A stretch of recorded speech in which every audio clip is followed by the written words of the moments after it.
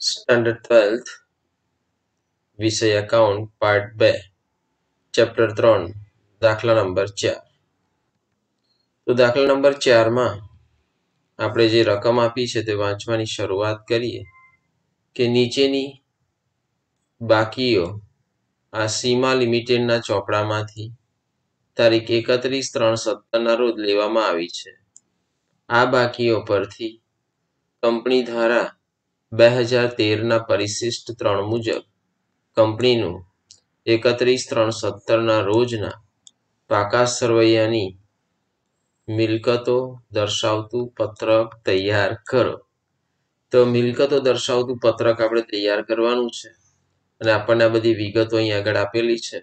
તો પહેલાં તો સૌપ્રથમ મિલકતો, મિલકતવાળું આપ્યું હોય એટલે તમારે શું એક મિલકત લેવાનું છે ને આખું ફોર્મેટ તૈયાર કરી દેવાનું. ફોર્મેટ દરેક વ્યક્તિને ખબર જ છે કે જો પહેલું મિલકતો એમાં બિન ચાલુ મિલકતો એમાં કાયમી મિલકતો કાયમીમાં દ્રશ્ય અને અદ્રશ્ય.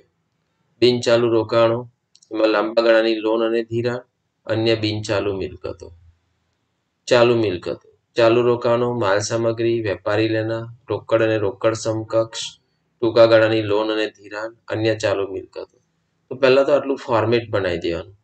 ફોર્મેટ બનાવ્યા પછી શું? તો કે અંદરથી એક એક કરીને વાંચવાનું. તો પહેલો નંબર છે, ચાલુ રોકાણો, બાર હજાર રૂપિયા. તો તમારે ચાલુ રોકાણો, જો અહીંયા આગળ શબ્દ લખેલો જ છે, ચાલુ રોકાણો, તો જો આ ચાલુ રોકાણો. આ ચાલુ રોકાણો શબ્દ લખ્યો છે, તો ત્યાં આગળ જઈને તમારે બાર હજાર રૂપિયા લખી દેવાનો. તો ચાલુ રોકાણો બાર હજાર રૂપિયા. તો ચાલુ રોકાણો બાર હજાર રૂપિયા લખી દીધા. પછી છે સેકન્ડ નંબર ટૂંકા ગાળાની લોન અને ધિરાણ. તો ટૂંકા ગાળાની લોન અને ધિરાણ અહીં કેટલું છે જુઓ તો સોળ હજાર. તો ટૂંકા ગાળાની લોન અને ધિરાણ તો આપણે અહીંયા આગળ લખી દેવાનું જો અહીં આગળ લખેલું જ છે.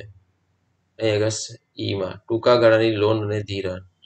તો કેટલા હજાર છે? સોળ હજાર. તો સોળ હજાર રૂપિયા ટૂંકા ગાળાની લોન અને ધિરાણ લખી દેવાનું. પછી છે અન્ય ચાલુ મિલકતો. તો બોતેરસો રૂપિયા છે. તો અન્ય ચાલુ મિલકતો, તો ચાલુ મિલકતો આ એફ. તો અહીં બોતેરસો રૂપિયા લખી દેવાનું. અન્ય ચાલુ મિલકતો બોતેરસો રૂપિયા. પછી છે કાયમી ચોથો નંબર છે. આ ચોથો નંબર કાયમી મિલકતો દ્રશ્ય. કેટલી છે? પાંચ લાખ સાહીઠ હજાર. તો કાયમી મિલકતો દ્રશ્ય. તો પાંચ લાખ સાહીઠ હજાર તમારે લખી દેવાનું. પાંચ લાખ સાહીઠ હજાર. પછી પાંચમો નંબર છે, રોકડ અને રોકડ સમકક્ષ. કેટલું છે? ચૌદ હજાર. ત્યાં આગળ જોઈ લો, ચાલુ મિલકતોમાં ડી. રોકડ અને રોકડ સમકક્ષ. જો કેટલી છે?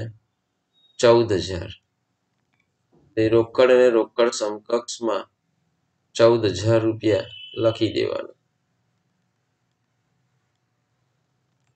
ચાલો પછી છે છ નંબર, માલ સામગ્રી. તો માલ સામગ્રી છેતાલીસ હજાર છે.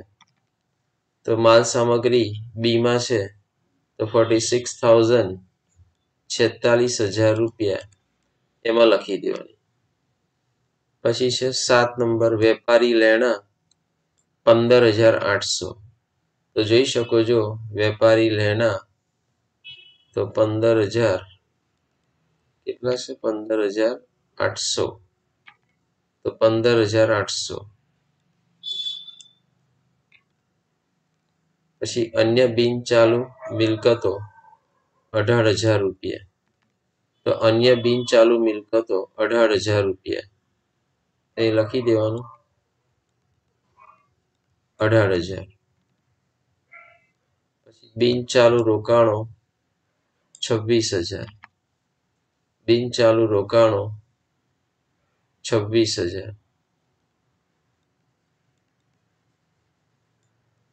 બિન ચાલુ રોકાણો છવ્વીસ હજાર કાયમી મિલકતો અદ્રશ્ય એક લાખ વીસ હજાર. અદ્રશ્ય મિલકતો એક લાખ વીસ હજાર. અને લાંબા ગાળાની અગિયાર નંબર છે. લાંબા ગાળાની લોન અને ધિરાણ બાવીસ હજાર રૂપિયા. તો લાંબા ગાળાની લોન અને ધિરાણ બાવીસ હજાર.